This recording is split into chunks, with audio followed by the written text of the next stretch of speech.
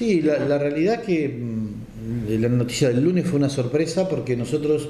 no, no hicimos ningún pedido ni ningún requerimiento extra de, de- un subsidio para nada.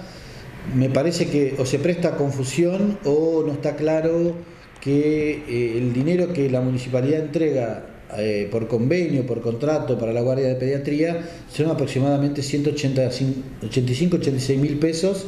que es el 60% del valor de la guardia de pediatría. Eso no es un subsidio, es el- el- la cuota mensual que la- el municipio entrega para que nosotros podamos hacer funcionar la guardia de pediatría.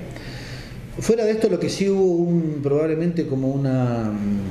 una diferencia de, de opinión era que eh, nosotros cobramos también todos los meses un porcentaje de la tasa. ¿no es cierto?, que paga el, el- el- el frentista de Mercedes, una parte para los bomberos, una parte para nosotros. Eh, desde, la, desde la Intendencia se nos ofreció cambiar eso por una por aparatología. Y de- de- después de charlarlo, un poco razonarlo entre nosotros, le, contestamos que no, porque ese dinero que- que ingresa mensualmente junto con lo que la cooperadora nos da, eh, como una cuota, digamos, es lo que nosotros nos permite el movimiento diario del hospital.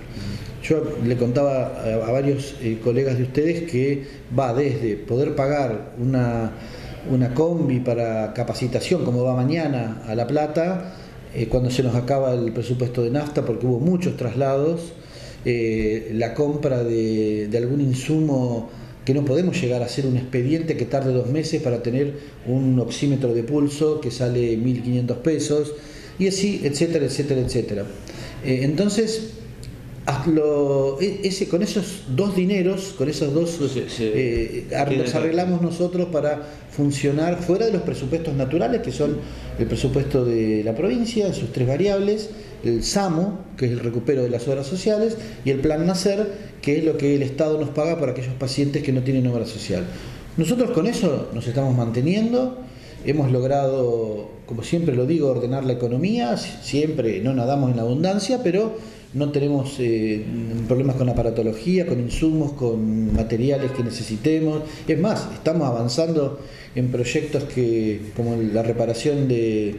de el subsuelo que siempre hablamos, que está, vimos, vimos el cheque firmado por 1.300.000 pesos, pero bueno, al haber cambiado el, ministro, esto se demora, nos dijeron que se va a demorar unos días más hasta tanto este, se, tengamos firma.